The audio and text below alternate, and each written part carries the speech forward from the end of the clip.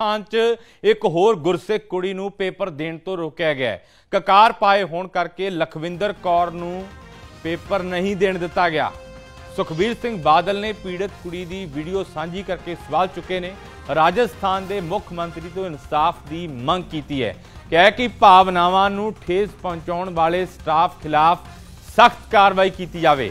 ਸਿੱਖਾਂ ਨੂੰ ਦੂਜੇ ਦਰਜੇ ਦਾ ਨਾਗਰਿਕ ਹੋਣ ਦਾ ਅਹਿਸਾਸ ਨਾ ਕਰਵਾਇਆ ਜਾਵੇ। ਤਾਂ ਇਸ ਪੂਰੇ ਘਟਨਾਕ੍ਰਮ ਦੀ ਨਖੇਦੀ ਚੌਤਰਫਾ ਹੋ ਰਹੀ ਹੈ। ਸੁਖਬੀਰ ਸਿੰਘ ਬਾਦਲ ਦੇ ਵੱਲੋਂ ਇਸ ਘਟਨਾਕ੍ਰਮ ਦੀ ਨਖੇਦੀ ਕੀਤੀ ਹੈ। ਕਿਹਾ ਕਿ ਸਿੱਖਾਂ ਦੇ ਨਾਲ ਵਿਤਕਰਾ ਬੰਦ ਕੀਤਾ ਜਾਵੇ। ਭਾਵਨਾਵਾਂ ਨੂੰ ਠੇਸ ਪਹੁੰਚਾਉਣ ਵਾਲੇ ਸਟਾਫ ਦੇ ਉੱਤੇ ਸਖਤ ਕਾਰਵਾਈ ਹੋਣੀ ਚਾਹੀਦੀ ਹੈ।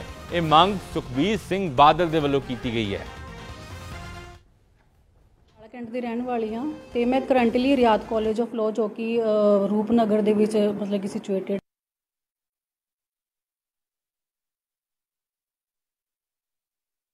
ਵਾਲਾ ਦੀ ਰਹਿਣ ਵਾਲੀ ਹਾਂ ਤੇ ਮੈਂ currently Rayat college of law ਜੋ ਕਿ ਰੂਪਨਗਰ ਦੇ ਵਿੱਚ ਮਤਲਬ ਕਿ ਸਿਚੁਏਟਡ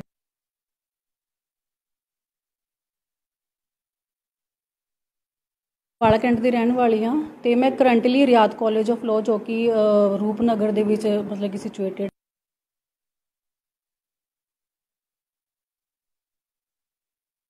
ਵਾਲਾ ਕੈਂਟ ਦੀ ਰਹਿਣ ਵਾਲੀ ਹਾਂ ਤੇ ਮੈਂ currently Rayat college of law ਜੋ ਕਿ ਟੈਕਸ ਦੇ ਉੱਤੇ ਸੁਖਬੀਰ ਸਿੰਘ ਬਾਦਲ ਦੇ ਵੱਲੋਂ ਟਵੀਟ ਕਰਦਿਆਂ ਲਿਖਿਆ ਗਿਆ ਕਿ ਇਹ ਸੱਚਮੁੱਚ ਹੈਰਾਨ ਕਰਨ ਵਾਲੀ ਗੱਲ ਹੈ ਕਿ ਇੱਕ ਹੋਰ ਅੰਮ੍ਰਿਤਧਾਰੀ ਮਹਿਲਾ ਐਡਵੋਕੇਟ ਬੀਬੀ ਲਖਵਿੰਦਰ ਕੌਰ ਨੂੰ 23 ਜੂਨ ਨੂੰ ਰਾਜਸਥਾਨ ਜੁਡੀਸ਼ਰੀ ਪੇਪਰ ਦੇ ਇੱਕ ਕੇਂਦਰ ਦੇ ਵਿੱਚ ਜਾਣ ਤੋਂ ਰੋਕਿਆ ਗਿਆ, ਕਿਉਂਕਿ ਉਸਨੇ ਸਿੱਖ ਧਰਮ ਦੇ ਨਾਲ ਸੰਬੰਧਿਤ ਚਿੰਨ੍ਹ ਪਹਿਨੇ ਹੋਏ ਸਨ। ਇਸ ਤੋਂ ਪਹਿਲਾਂ ਬੀਬੀ ਅਰਮਾਨ ਜੋਤ ਕੌਰ ਨੂੰ ਪ੍ਰੀਖਿਆ ਦੇ ਵਿੱਚ ਬੈਠਣ ਤੋਂ ਰੋਕ ਦਿੱਤਾ ਗਿਆ ਸੀ। ਇਹ ਬਹੁਤ ਦੁਖਦਾਈ ਗੱਲ ਹੈ ਕਿ ਲਖਵਿੰਦਰ ਕੌਰ ਨੂੰ ਪ੍ਰੀਖਿਆ ਹਾਲ ਦੇ ਵਿੱਚ ਦਾਖਲ ਹੋਣ ਤੋਂ ਪਹਿਲਾਂ ਉਸ ਦਾ ਕੜਾ ਅਤੇ ਕਿਰਪਾਨ ਉਤਾਰਨ ਦੇ ਲਈ ਮਜਬੂਰ ਕੀਤਾ ਗਿਆ ਸੀ। ਰਾਜਸਥਾਨ ਸਰਕਾਰ ਦੇ ਵੱਲੋਂ ਜਿਸ ਤਰੀਕੇ ਦੇ ਨਾਲ ਕਿਸੇ ਦੇ ਧਰਮ ਦੀ ਪਾਲਣਾ ਕਰਨ ਦੇ ਮੌਲਿਕ ਅਧਿਕਾਰ ਦੀ ਉਲੰਘਣਾ ਕੀਤੀ ਜਾ ਰਹੀ ਹੈ, ਉਹ ਨਿੰਦਣਯੋਗ ਹੈ। ਰਾਜਸਥਾਨ ਦੇ ਮੁੱਖ ਮੰਤਰੀ ਭਜਨ ਲਾਲ ਦੇ ਵੱਲੋਂ ਸਿੱਖ ਕੌਮ ਦੇ ਇਸ ਅਪਮਾਨ ਤੇ ਪ੍ਰਤੀਕਿਰਿਆ ਦੇਣ ਅਤੇ ਦੋਸ਼ੀ ਸਟਾਫ ਖਿਲਾਫ ਸਖਤ ਕਾਰਵਾਈ ਕਰਨ ਦੇ ਵਿੱਚ ਦੇਰੀ ਨੇ ਸਮੁੱਚੇ ਭਾਈਚਾਰੇ ਦੀਆਂ ਭਾਵਨਾਵਾਂ ਨੂੰ ਠੇਸ ਪਹੁੰਚਾਈ ਹੈ। ਸਿੱਖਾਂ ਨੂੰ ਆਪਣੇ ਹੀ ਦੇਸ਼ ਦੇ ਵਿੱਚ ਦੂਜੇ ਦਰਜੇ ਦੇ ਨਾਗਰਿਕ ਹੋਣ ਦਾ ਅਹਿਸਾਸ ਨਾ ਕਰਵਾਇਆ ਜਾਵੇ। ਇਸ ਦੇਸ਼ ਦੇ ਲਈ ਸਿੱਖਾਂ ਨੇ ਸਭ ਤੋਂ ਵੱਧ ਕੁਰਬਾਨੀਆਂ ਕੀਤੀਆਂ ਨੇ। ਅਜਿਹਾ ਜ਼ਿਕਰ ਸੁਖਬੀਰ ਸਿੰਘ ਬਾਦਲ ਦੇ ਵੱਲੋਂ ਕੀਤਾ ਗਿਆ ਹੈ।